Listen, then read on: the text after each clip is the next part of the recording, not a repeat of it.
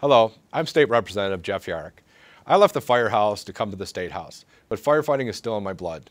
I want to take a moment to remind people to check the batteries in their smoke detectors at least annually, even better biannually. The smoke detector itself generally should be replaced every 10 years, and carbon monoxide detectors should be replaced every seven. Sleep with your bedroom door closed. It will buy you time if you do have a fire. And remember to think about your fire exit before you need it. Please stay safe.